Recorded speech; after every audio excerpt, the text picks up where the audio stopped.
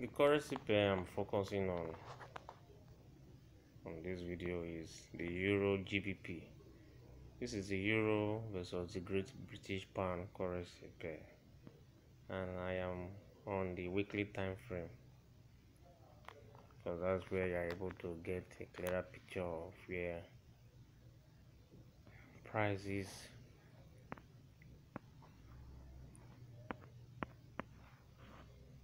now price rebounded from here.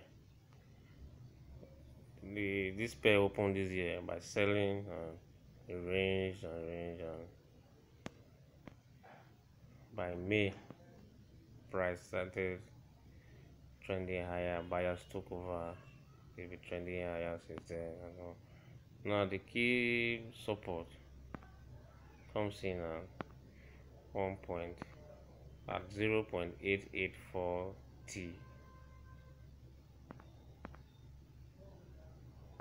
The resistance is at 0.8930 price is close to resistance but the momentum in the past two three months have been a buy.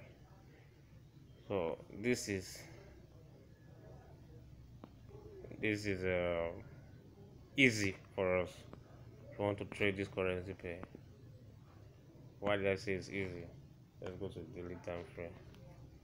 The daily time frame now it's easy.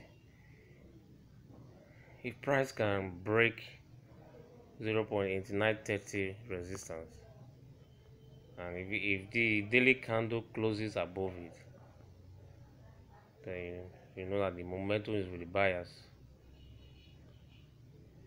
means the buy will continue.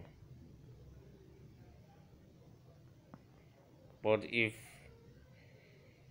price tests resistance at 1.8930 and it fails to close above it the open and close of each candle matters a lot. If it fails to close above it then we know that we can actually sell the currency. Now the, the major key support for the week comes in at 0.8840 like i mentioned. If price breaks below this support you know that price could trend lower to the next major support which comes in at 0.8495